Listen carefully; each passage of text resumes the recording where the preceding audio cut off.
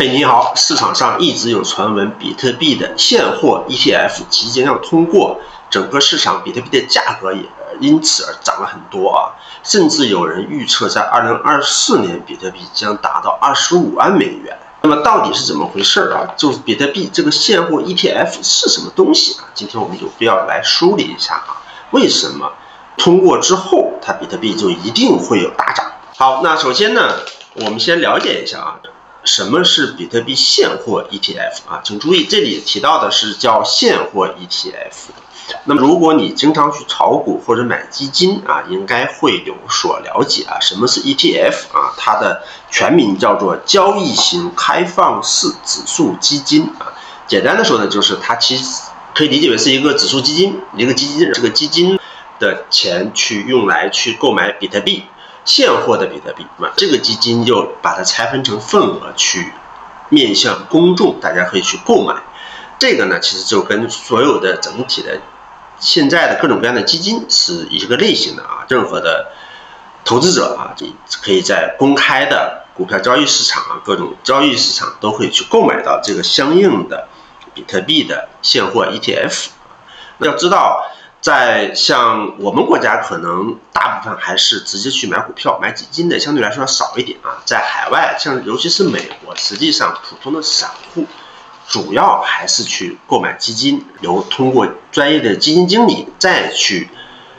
买股票或者去做各种各样的投资理财啊。这是海外一个最大的一个特点啊。所以呢，这个是比特币的现货的 ETF，也正是这个原因啊。因为如果它通过之后呢，那么就有可能带来的是大型的机构的进行购买啊，因为它是首先它是合规的，它在各种各样的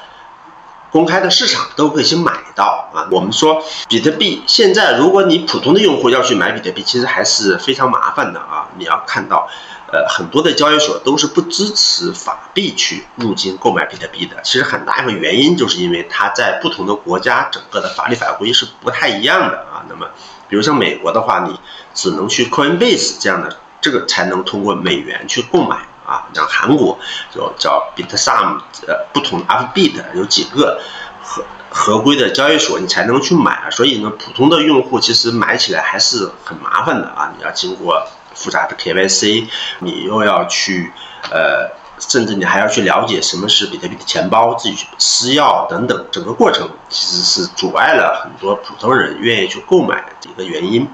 另外呢，还有一个大核心原因就是一些大型的机构啊，这种基金公司，像在国内的话，其实公募基金啊，你去看，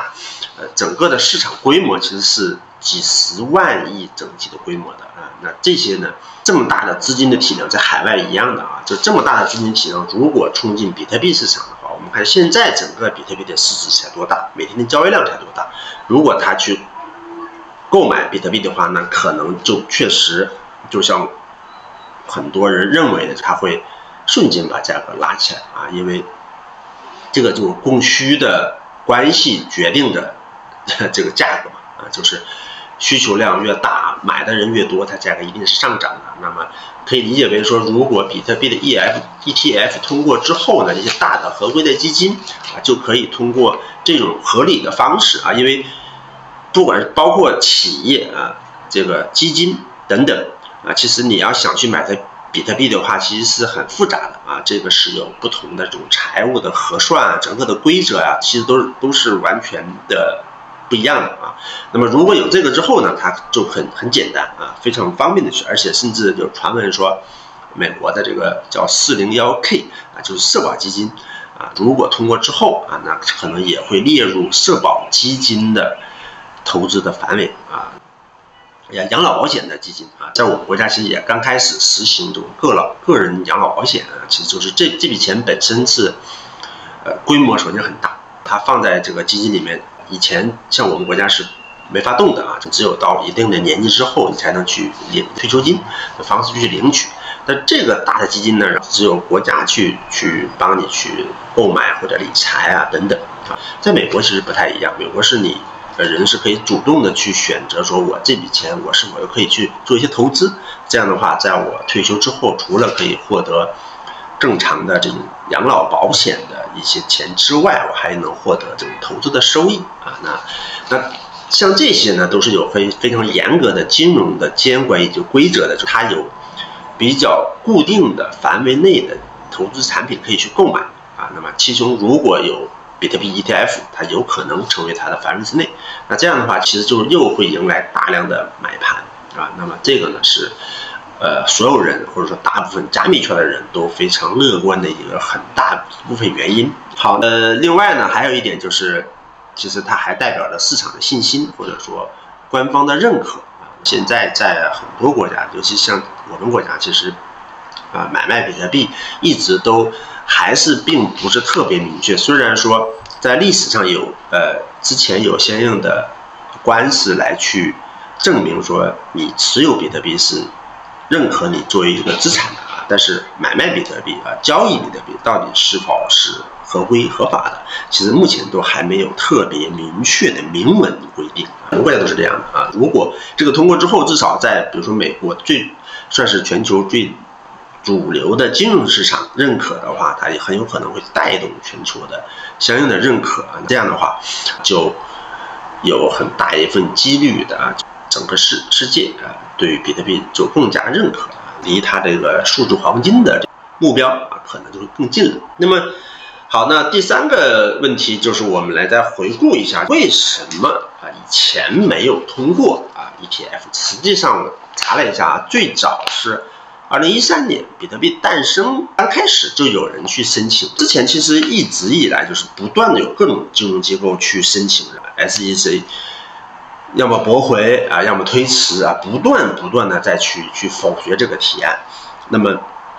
它推迟的一个核心原因，或者说去拒绝的一个核心原因，就是它的价格是暴涨暴跌啊。其实，如果你去关注比特币价格，你会发现啊，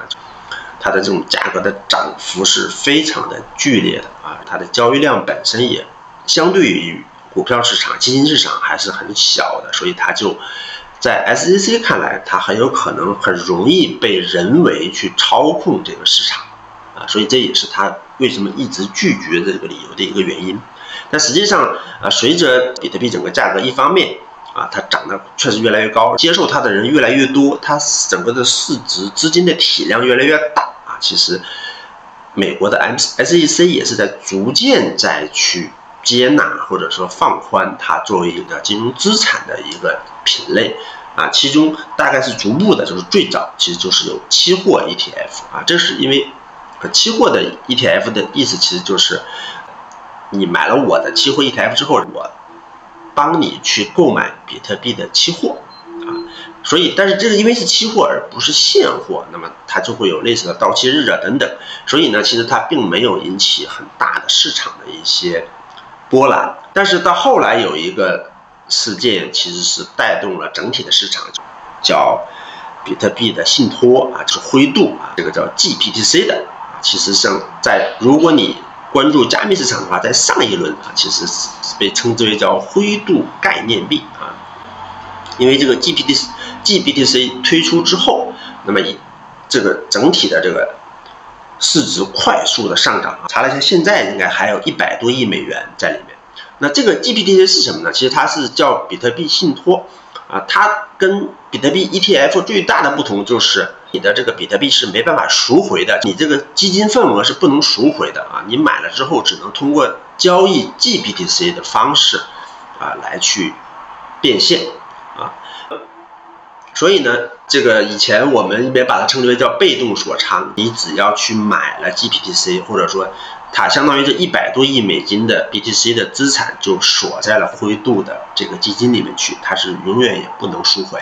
然后灰度呢就只赚取相应的基金管理费啊，但其实这么大的体量，它的每年的管理费也非常高。还有一个最大的特点就是在上一波牛市的时候，它最开始的溢价非常高啊，我记得应该是。差不多能有百分之三十的溢价，所以也是为什么它这个基金份额这么快速暴涨的原因。就是溢价的意思，就是你存一个 BTC 进去，兑换的 GBTC 能够卖到一点三个 BTC，自然而然的就有大量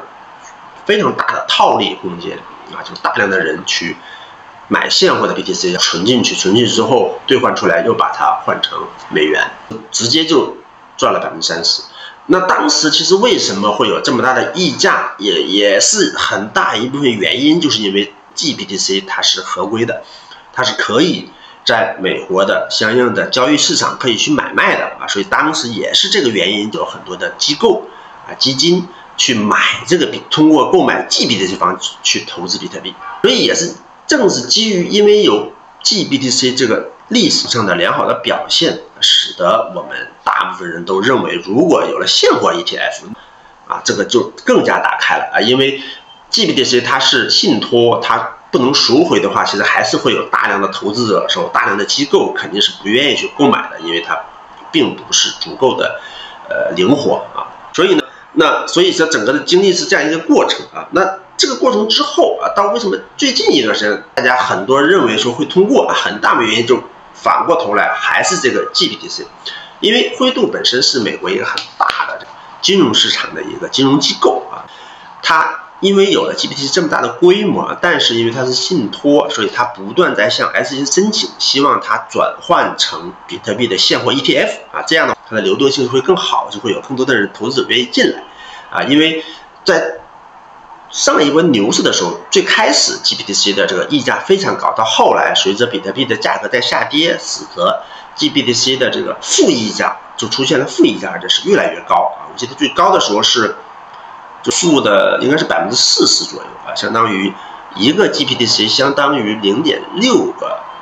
因为大量的投资者去抛售这个 GBTC 啊，所以这个中间是有大量的差价的啊，所以他希望去转换成这个 ETF，能够让它。这样的话就正正常的去运转，但是一样的，就 SEC 还是不断的去驳回、推迟等等那后来这个灰度就直接把 SEC 告上了法庭，而且他告赢了啊！这也是为什么现在大家都觉得应该马上就要通过的原因，就是因为啊，他告 SEC 的核心原因也是他列举了非常复杂的东西啊，说你你你没有任何理由去，因为他。批准了期货的 ETF 啊，但是你为什么又不批准我的现货 ETF？因为各种各样的原因。后来呢，最后法院判决很简单，就还是一些败诉啊。但是他并不是说要求他你必须通过啊，只是要求你必须在一个时间点再重新去审核 GPTC 的转 ETF 的这个申请，同时你不能再以之前的理由去驳回他这个申请。如果是这样的话，其实，那么在金融界的人就认为说，那你在这个时候可能应该就要去通过了啊。还有一点呢，这个时间点其实就是一月十号啊，在因为它不断的推迟，不断推迟之后，就在这个时间点，简单说，你必须要给出一个答复啊，不管是通过还是不通过。但是呢，如果你不通过的话，你又不能按照你原有的借口去这个驳回，那这个时候。其实已经，它也没有其他的比特币，它也没有其他的问题了，所以呢，这也是为什么大家都觉得可能会通过的原因啊。好，那最后总结一下，就是如果通过之后，是否会形成真正的暴涨？其实从我的观点角度呢，应该不太会说，可能短期是有瞬间的上涨啊，但是后面可能还会平缓下来。它会长期角度，它一定是利好的，因为有一个背后有更大的大型机构。进入入场的一个很合理的标准啊，像今天还有一个新闻，其实香港的一家上市公司叫博雅的，它通过了香港的一个合规交易所，也购买了将近五千万美元的比特币